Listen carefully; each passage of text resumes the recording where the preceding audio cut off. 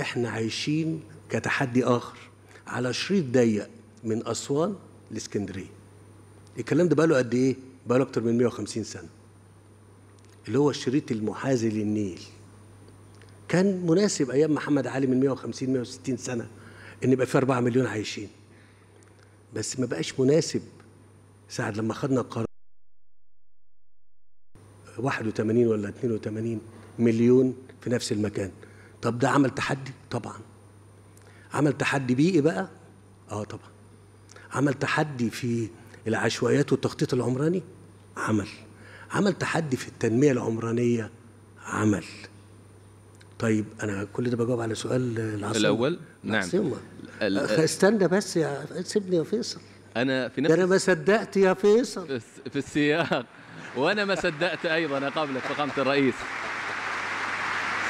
وأنا ما صدقت أيضا اقابل فخامة الرئيس في نفس السياق. يعني دائما نشهد هذه الشفافية المعهودة منك. وفي كثير من اللقاءات في التحضير لهذا اللقاء مع فخامتكم كنت تتحدث عن ضرورة أن يفهم المجتمع بكافة شرائحه. السياق يفهم أصل المشكلة. ذكرت تجارب مثل سنغافورة ذكرت كوريا الجنوبية وقلت أن الناس أو المجتمعات ترى الحل النهائي ولا ترى السياق. ما الذي قصدته فخامة الرئيس؟ آه، ده كلام جميل قوي. يعني عايز أقول إيه؟ آه، من كام يوم كده كنت موجود مع ال- الولاد بتوع الأشبال بتوع الكورة. فولد منهم بيقول لي إيه؟ أنا هبقى زي محمد صلاح. فقلت له تقدر تعمل مسار محمد صلاح تبقى زيه. اذا لو أنت عايز تعمل الت- التطور والنمو والتقدم اللي عملته كوريا الجنوبية اللي عملته سنغافوره اللي عملته أي دولة أخرى تقدر. بس السياق اللي اتعمل هو العمل والعمل والصبر والتضحية. أقول تاني؟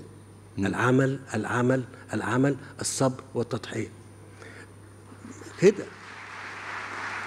أنت مش هتحل الموضوع جميل. في في مدة زمنية سنة واثنين وثلاثه لتحديات كبيرة زي اللي أنا بتكلم عليها. أنا عايز أقول لك أنا عايز أعمل ربط كهربائي مع المملكة العربية السعودية، عايز أعمل ربط كهربائي مع دولة اليونان، عايز أعمل ربط كهربائي مع إيطاليا، عايز أعمل ربط كهربائي مع السودان وليبيا. طيب أنا مؤهل لكن فخامه الرئيس يعني هل ممكن يكون مثل هذا الربط مع أيضا الأردن كان هناك حديث نعم. م- قريب محتمل لا هو السؤال مش كده والإجابة بتاعته حاجة تانية مم. أنا جاهز لده ولا لا قبل كده ما كنتش إيه ما كنتش جاهز. دلوقتي أنا جاهز. كل التوفيق.